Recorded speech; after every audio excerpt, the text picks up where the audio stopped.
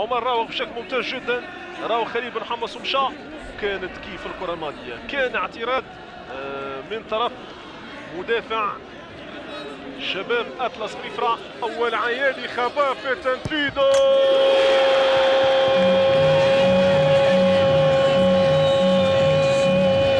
هدف التعادل من دور الوطنية. النتيجه واحد واحد بين لوسيس وسياكا. نقطة ورجع للستر